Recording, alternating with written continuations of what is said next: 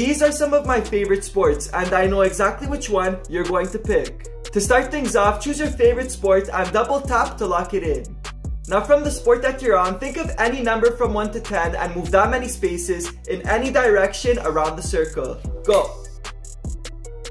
Perfect. Now for the last step, there's a bunch of numbers on the screen. What I want you to do is look at the number under the picture that you're on and move that many spaces counterclockwise around the circle. Go!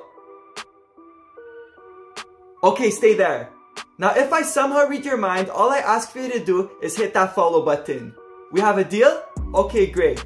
You're thinking of basketball. Let me know in the comments if I got it right.